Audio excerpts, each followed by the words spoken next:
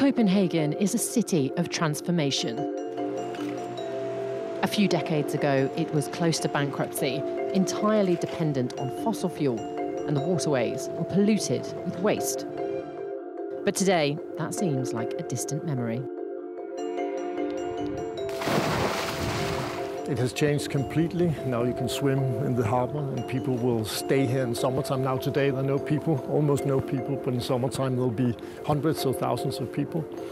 Uh, so it has become some kind of new city beach in Copenhagen. Unlike Scotland, low emission zones are not a new concept in Denmark. Diesel lorries and buses have been banned from the capital since 2008. Kasper Harbo is a key figure in the municipal government and has been integral in reducing the city's emissions, which have fallen by more than 40% since 2005. He says the key to Copenhagen's success has been getting people to turn their backs on cars altogether. When we ask people why they bike in Copenhagen, they say they do it because it's fast, it's easy, it's cheap, and it's good for the health. And then comes the environment as number four or, or five. So then, of course, because there's been political will and also dedicated funds for, for, for many years um, across, um, would you say, across parties, the different parties have actually uh, agreed to, to, uh, to spend quite some money on bicycle infrastructure.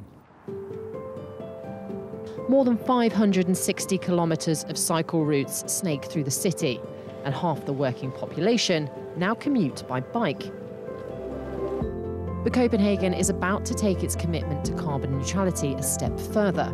Later this year, the city centre will become a zero emission zone, meaning all petrol and diesel vehicles will be banned from entering altogether.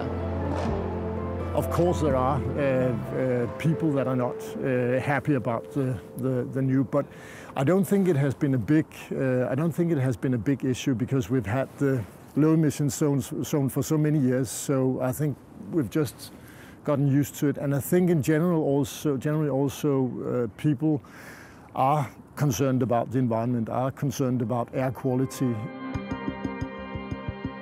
But it isn't a complete success story. The Danish capital had planned to become the world's first carbon neutral city in just two years' time, a target it's now likely to miss. Nørrebrogade is one of Copenhagen's busiest and densely populated streets. In the last few years, cars have been phased out, but it wasn't a popular change at the time. Like Glasgow, some feared new rules would ruin business. But years later, it seems attitudes have changed this street has really blossomed as like a retail street, um, especially like the last years. Um, so it must be a good thing.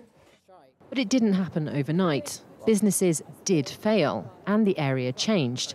In effect, over time, it gentrified. I think cities have to accept that wanting change, no matter which, which way change goes, always comes with some skepticism and, and potentially, possibly resistance from, from citizens or other parties or shops and whatnot. You need to see that change and experience it before you maybe you are able to really comprehend what it, what it implies and what's, what kind of life quality that, that comes that it brings to you. But cycling isn't the only green way to get around the city. Everywhere you turn, there's an abundance of sustainable options. Public transport, both on land and on water, is fully electric, and the city's fully automated metro system is renowned for its speed and reliability. Making advantages where a car maybe have to go on a detour and you give the right of way or the, the, the, the direct travel route for walking and cycling and, and public transport.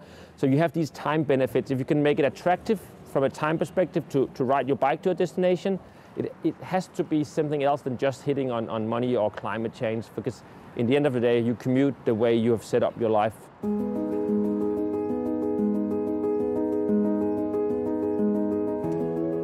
But if people didn't have to rely on public transport as much? Many places in Scotland, including Glasgow, Edinburgh and Dundee, are all planning to build 20-minute cities.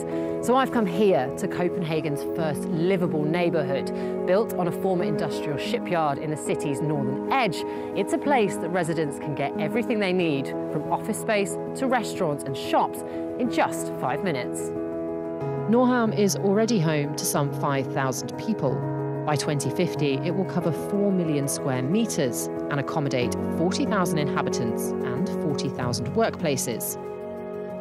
This is a very large post-industrial site, a very uh, big area. So the concept was to actually dig a lot of canals and then we have a series of islets that can be then turned into individual districts and you can take them one by one and you can finish a, a, neighborhood and then you can move on to the next and you can build that neighborhood and it will create a small community where people live and people work and you have uh, cultural facilities, you have schools and uh, daycare and so forth, Every, everything you need uh, within a short walking distance. Catherine Maxwell has studied how both Scotland and Denmark approach their climate targets. She says low emission zones are just the start of what needs to change in Scotland. A key challenge for Glasgow will be around developing an integrated transport system. It's not joined up at the moment. It needs to be as convenient as you know getting in your car and, and being able to drive across town.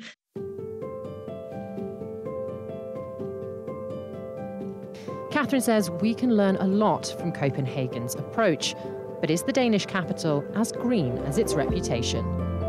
They have really pushed that level of ambition a lot further than most other cities. I would say that it's always a, a risk to do that, but it can pay off because even if you don't reach that specific target, you'll be a lot closer than you think